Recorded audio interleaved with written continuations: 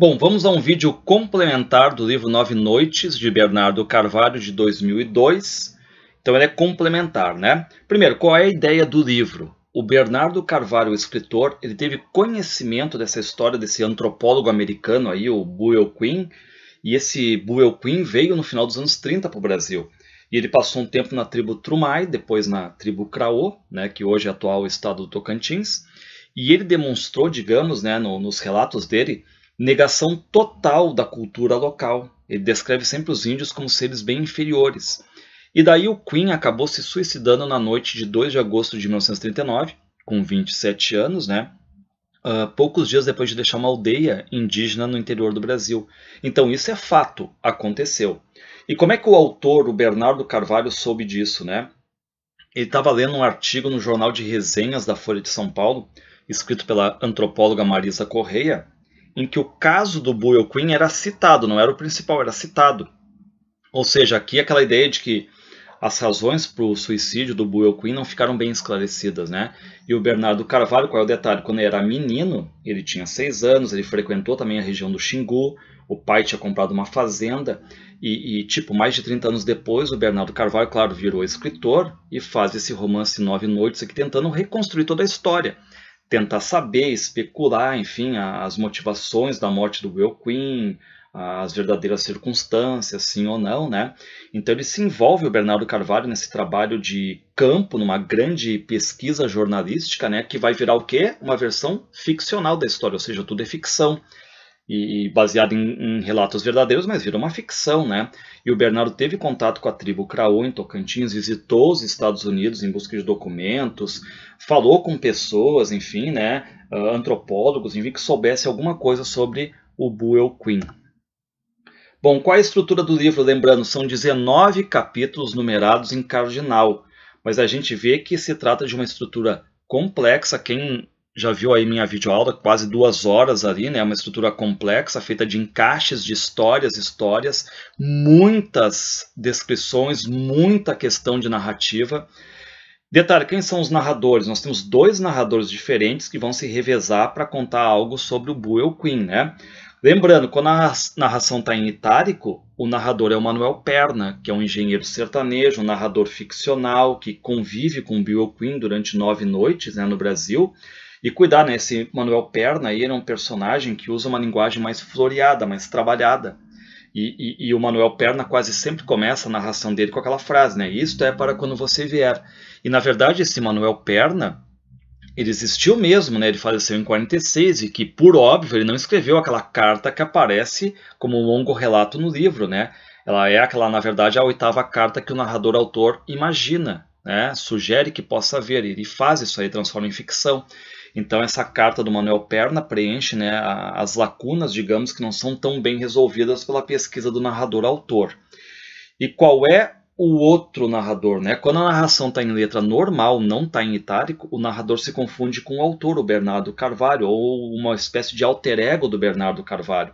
E eu vou chamar aqui de narrador jornalista, narrador detetive, narrador investigador, autor, narrador, certo? Porque ele não tem nome, não é nomeado, ele está fazendo uma pesquisa de campo 62 anos depois da morte do suicídio do Buell Quinn. Então a gente tem o presente histórico do livro, né, com uma linguagem que flui mais, ela é mais jornalística, ou seja, a escrita do Manuel Perna ela é mais trabalhada estilisticamente do que a do narrador jornalista, né, que se confunde com o Bernardo Carvalho. Então o Bernardo Carvalho mostra né, nessa narração dele também a formação jornalística dele, né? Então, lembrar, né, o Manuel Perna, narrador, parece ter algo a contar, enfim, enquanto o autor narrador ele tem perguntas, digamos, a serem respondidas, né? E só um detalhe, né? lembrar que as mulheres aqui no livro Nove Noites, elas desempenham um papel secundaríssimo, né? Porque a, a discussão aqui é enquanto a questão dos homens. Bom, quais os recursos usados? O que, que pode aparecer para vocês? Um dos recursos usados é a questão da metaficção, ou seja, um romance, uma ficção fundada em outras ficções. Palavra principal aí, ó, metanarrativa, a metalinguagem.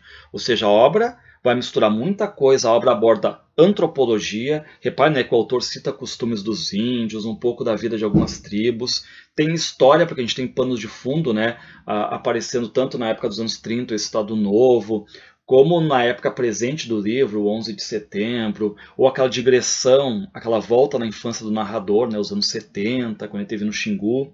Tem literatura, porque, claro, é a arte da criação, da ficção, o que junta tudo e faz a coisa acontecer. Tem o jornalismo, dentro daquela ideia de busca pelas informações, pelo trabalho de campo. Então, lembrando que esse livro aqui se baseia em várias cartas, em vários documentos, em fotos, né, em relatos, testemunhos. A questão da memória é muito importante aqui. Ou seja, nós temos aqui uma espécie de abundância de detalhes, tem muita narração. Lembrar né, que o, o personagem autor jornalista, o narrador jornalista, ele estava planejando escrever o quê? Né? Um, um, livro sobre essa pesquisa investigativa. Mas como ele não consegue algo conclusivo, ele tem o quê? Uma ficção. Então a gente tem esse trabalho dele falando sobre a própria obra, então uma metanarrativa. Quais os tempos da narrativa? Lembrando, tá? Uh, nós podemos dizer que são três, apesar de na orelha do livro dizer dois. O primeiro, claro, né, a chegada do etnólogo Buell Quinn, enfim, ao Brasil até a data em que ele morreu, que vai ser esse testemunho do narrador fictício Manuel Perna, um engenheiro sertanejo na década de 30. Temos o tempo que vai ser rememorado pelo narrador autor, aquelas digressões em que ele conta a infância dele com seis anos. Enfim, até o livro traz né, na, na orelha e tem umas capas que trazem a foto dele do lado ali, né, no, no Xingu, né, as viagens aéreas feitas pelo pai, ele depois com 11 anos, e claro que muito forte o tempo presente, aquele tempo da investigação desse mesmo autor, narrador, autor, jornalista, que se desloca até Nova York, lembrando que uh, meses após o atentado das Torres Gêmeas, enfim, o 11 de setembro, nessa tentativa de tentar elucidar o mistério do suicídio. Ele não consegue elucidar e transforma tudo em ficção. Lembrar as versões de Queen. Repare que nós temos uma versão que é mais imaginada, que é a do Manuel Perna, o sertanejo, né? Ah, o fictício a versão dos companheiros de trabalho que o conheceram, como o Levi Strauss, a Heloísa Alberto Torres, né? Tem a versão dos familiares, do pai, da mãe, a versão do próprio Bernardo Carvalho, que aparece como o narrador repórter, o narrador jornalista, né? Aquelas cartas todas ali sendo trocadas, enfim, né? as cartas confessionais. Lembrar os nomes também, né? O Bill Quinn aparece sobre vários nomes aqui, né? Chamado de ok, Buell Quinn, Bill Cohen, Quen Bueli, Cantignon, Coan, né?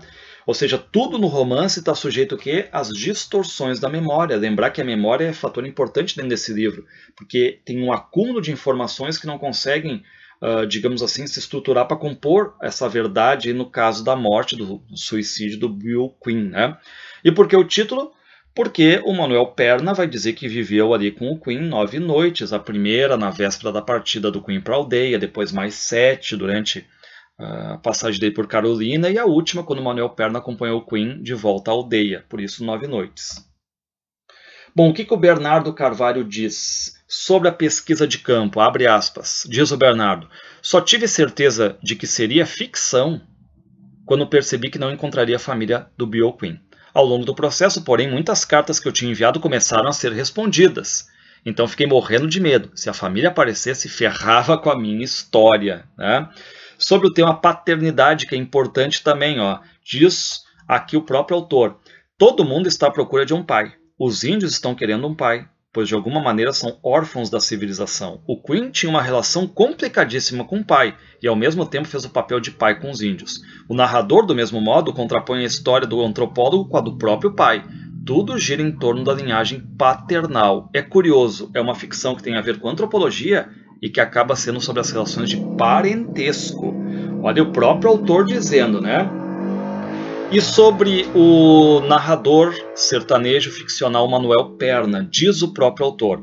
Esse personagem, Manuel Perna, é uma espécie de desejo do autor de resolver as lacunas que não são resolvidas pela pesquisa do narrador-autor. Várias pistas me induziam a certas conclusões, mas eu não tinha certeza. Precisava de um negócio que fechasse, e a única pessoa que podia ter visto era ele. Por isso, logo no início percebi que ele seria um dos narradores. Lembrando que tem dois. No livro ele aparece como engenheiro, sertanejo, mas na verdade ele era barbeiro. Mas achei que ia ficar muito inverossímil ele escrevendo daquele jeito, empolado, né, linguagem trabalhada, né, enfim, né, mais floreada, sendo barbeiro, com essa profissão. Foi a única coisa que eu mudei em relação a ele. Bom, e aqui quanto às fotos, lembrando que o livro traz algumas fotos. Primeiro, né, duas fotos que aparecem internas, que é aqui da esquerda e a do meio. A primeira que mostra o Bill Queen de frente de perfil, e a segunda que mostra uh, pessoas que tiveram alguma relação com Bill Queen. E a terceira foto que aparece à direita ali, que aparece na orelha do livro, que eu tenho, por exemplo, ou na capa de algumas outras edições, que mostra uma foto do Bernardo Carvalho com indígena no Xingu, certo? É isso aí, isso aqui é só um resumo das principais características, e se vocês tiverem, né, enfim, uh, prontos com tempo para ver a, a videoaula, que vai ter umas duas horas, né, enfim, vão lá e tentem acertar essa questão, certo? Abraço a todos aí.